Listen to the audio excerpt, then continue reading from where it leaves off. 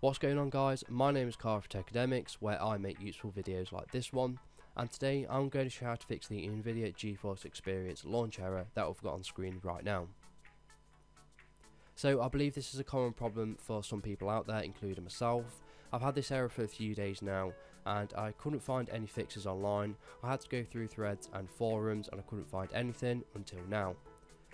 Now I wanted to make a YouTube video on this so I could show the rest of the world how easy this problem is to fix and you can only do this in a couple minutes.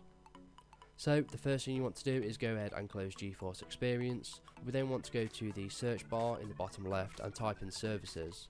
Now it should be this desktop app right here so going to click on that and it will load up a box like this. You want to click on any of the applications listed and click on N for NVIDIA and you want to find this box here, NVIDIA Telemetry Container. Now the problem is that the status of this service is not running as you can see here.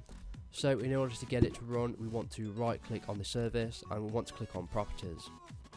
Once we're here we want to click on the logon tab and then we want to make sure local system account is ticked.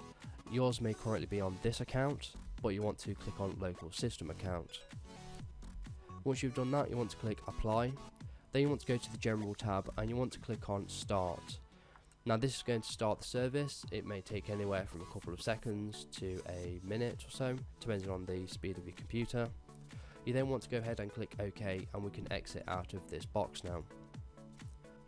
You want to go ahead and run GeForce Experience again like normal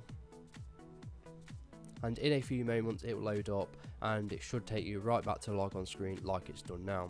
So you just want to log in and continue using the program like normal. Now if you do get a lot of errors on your PC and you do find that it is slowing down or it has been quite slow recently, I'd recommend downloading a program called CCleaner. It looks like this and it basically takes care of cleaning your PC, getting rid of errors, uh, it can go through the registry etc and it does all this in the background without you even knowing. I personally use it myself and if you are interested in this program there will be a link in the description. So if this video was helpful, please leave a like and pass it on to someone who may find it helpful as well. If you do run into any problems, just leave a comment and I'll reply to you as soon as possible. So thank you for watching and I'll see you in the next video.